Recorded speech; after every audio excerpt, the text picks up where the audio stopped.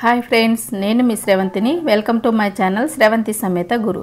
ఈరోజు నేను మీకు ఎంతో కమ్మగా ఉండే మా విలేజ్ స్టైల్లో చేసే దొండకాయ రోటి పచ్చడి చేసి చూపించబోతున్నానండి. చాలా బాగుంటుంది ఏ కూరలో అవసరం లేదండి. ఈ పచ్చడి ఒక్కడి దానితో అన్నం మొత్తం తినేస్తారు అంత కమ్మగా ఉంటుంది. మరెందుకు ఆలస్యం? రండి చూసేద్దాం.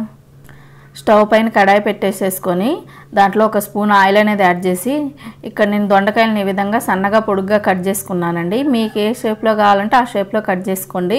ఇక్కడ నేను ఇంచుమించుగా హండ్రెడ్ గ్రామ్స్ దొండకాయలని యూజ్ చేస్తున్నాను. ఇవన్నీ యాడ్ చేసిన తర్వాత ఒకసారి అలా వన్ మినిట్ పాటు వేసేసి ఫ్రై చేసేసుకొని మనం ముందుగా అంటే మీ స్పైసీనెస్కి తగ్గట్టుగా మీరు పచ్చిమిర్చి అనేది తీసుకోండి. నాకు ఇక్కడ పది పచ్చిమిర్చి దాకా పట్టాయండి. ఈ విధంగా అన్ని మధ్యలో కలుపుకుంటూ ఫ్రై చేసుకోవాలి.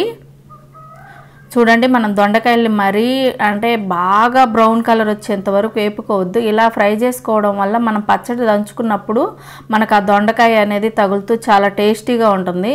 ఈ విధంగా మనకు పచ్చిమిర్చి దొండకాయ ఫ్రై అయిన తర్వాత పక్కకు తీసేసుకున్నాను. ఇక్కడ నేను మూడు మీడియం సైజు టమాటాలను తీసుకుంటున్నానండి. అదే కడాయిలోకి టమాటాలను కూడా కట్ చేసుకొని యాడ్ చేసేసుకుంటున్నాను. ఇప్పుడు దాంట్లోనే కొంచెం టమాటాలు యాడ్ చేసిన తర్వాత ఒక స్పూన్ ఆయిల్ అనేది యాడ్ చేసేసి ఈ టమాటాలను అంతా బాగా మగ్గించేసుకోవాలి. మధ్య మధ్యలో కలుపుకుంటే ఈ టమాటాలను కూడా మనం మంచిగా మగ్గించేసుకోవడం. చూడండి టమాటాలు అనేవి మనకు బాగా మగ్గిపోయినాయి. ఇప్పుడు వీటిని కూడా పక్కకు తీసేసుకుంటున్నానండి. ఇప్పుడు రోల్ తీసేసుకొని మనం ముందుగా ఫ్రై చేసి పెట్టుకున్న దొండకాయ పచ్చిమిర్చిని యాడ్ చేసి ఒక స్పూన్ సాల్ట్ అనేది యాడ్ చేసేసుకొని దంచుకుంటున్నాను. మీకు రోన్ లేని వాళ్ళు మిక్సీలోనైనా కోర్సుగా మిక్సీ పట్టేసుకొని చేసుకోవచ్చండి. ఈ విధంగా అంతా దంచేసుకోవాలి.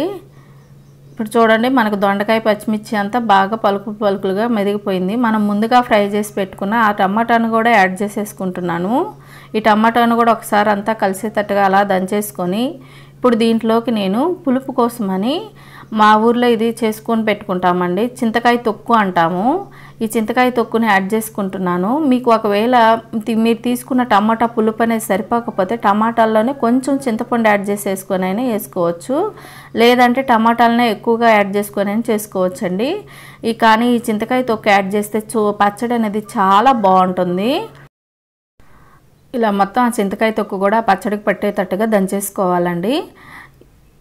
ఇప్పుడు దాంట్లోకి మనం నేను ఒక మీడియం సైజు ఆనియన్ని యాడ్ చేసేసుకుంటున్నాను. ఈ ఆనియన్ కూడా రోట్లో వేసుకొని కచ్చా పచ్చాగా బాగా దంచుకోవాలి. ఇప్పుడు అందులోకే కొన్ని వెల్లుల్లిపాయ రెమ్మలు కూడా యాడ్ చేసేసుకుంటున్నానండి. ఇవి కూడా ఆ పచ్చట్లోకి అంతా కలిసేటట్టుగా దంచేసుకోవాలి. ఈ విధంగా అంతా పచ్చళ్ళలోకి కలిసేటట్టుగా దంచుకున్న తర్వాత మళ్ళీ ఒకసారి మనము సాల్ట్ అనేది చెక్ చేసుకోవాలండి. నాకు కొంచెం సాల్ట్ అనేది తగ్గినట్టు అనిపించింది. అందుకే సాల్ట్ యాడ్ చేసేసుకొని మళ్ళీ అంతా ఆ సాల్ట్ పట్టేటట్టుగా దంచేసుకుంటున్నాను. ఇప్పుడు ఈ పచ్చనంతా కూడా ఒక బౌల్లో తీసేసుకుందాము.